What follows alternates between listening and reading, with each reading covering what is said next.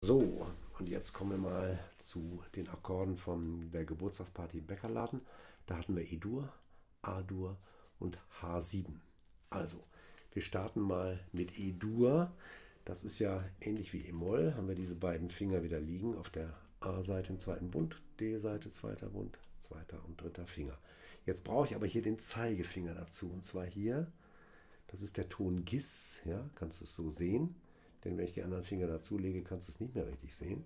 Also hier, G-Seite, erster Bund ist der Ton Gis, also da hast du E-Dur. Wie gesagt, die Akkorde habe ich ja erklärt. So, also, jetzt will ich hin zu A-Dur. Jetzt lasse ich wieder locker. Jetzt ist die Frage, wo müssen die Finger hin? Der Zeigefinger, der hat den weitesten Weg, der geht jetzt hier zur D-Seite, das ist der Ton E, in den zweiten Bund.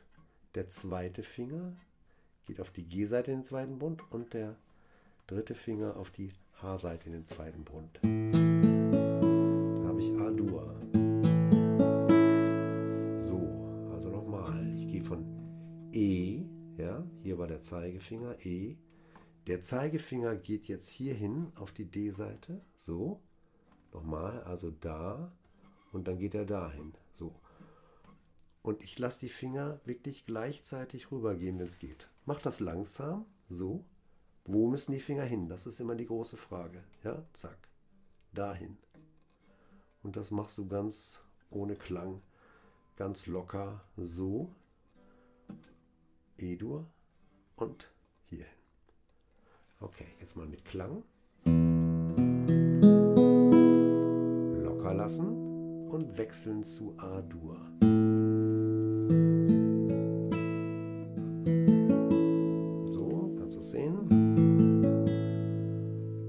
Zurück. Und nochmal wieder wechseln. Hin, hier hin. A-Dur schlage ich von der A-Seite aus an. Okay. Und jetzt gehe ich zu H7.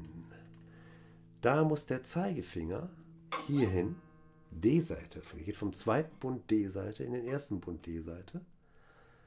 Der Zeigefinger, der zweite Finger, Mittelfinger, geht auf die A-Seite in den zweiten Bund. Also wandert von A zu hier zur A-Seite. Dann geht der dritte Finger auf die G-Seite in den zweiten Bund und der vierte Finger kommt jetzt auch zum Einsatz. Kommt auf die hohe E-Seite in den zweiten Bund. Okay, ich lasse mal locker. Also, von A-Dur gehe ich jetzt ohne Kraft zu H7. Dahin, dahin. Das braucht schon ein bisschen Geduld. Aber je leichter du das machst, also ohne Anstrengung, umso besser. Das Ziel ist ja, die Finger sollen wissen, wo sie hingehen, dass ich nachher sozusagen mich mit jemandem unterhalten kann und trotzdem den Akkord spielen kann. Besser ist aber noch, als sich unterhalten beim Spielen, ist einfach singen oder mit jemandem zusammen musizieren. Und den kann ich auch mal angucken, wenn ich spiele. Auch nicht schlecht. Wenn ich jetzt immer auf die Seiten gucken muss, sehe ich die anderen gar nicht, wie sie spielen. Okay, aber lass dir Zeit. Ich mache es nochmal mit Klang. E-Dur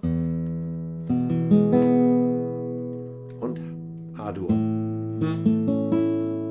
und H7. Und da ist es leicht, wieder zurück zu E zu gehen, weil der kann liegen bleiben hier. Ja? Und den von der D-Seite gehe ich zur G-Seite, auch bleibe im ersten Bund und gehe dann zu E. E-Dur, A-Dur, jetzt kommt H7, lass dir Zeit, leg die Finger hin und wechsel. Und wieder zu E. Du nimmst dir erstmal vier Takte vor, ne? also Hand entspannen und das Ganze nochmal. Luft holen nicht vergessen und ausatmen auch nicht vergessen. Also zudrücken, lassen und wechseln zu A-Dur. Deinen Finger mal weg, dass du sehen kannst. Und ruhig atmen ne? und wieder wechseln zu H7. So, und jetzt geht es wieder zurück zu E-Dur. Ich zähle mal.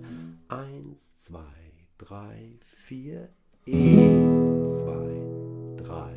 4, A, 2, 3, 4, H7, 2, 3, 4 und E, 2, 3, 4 und Stopp.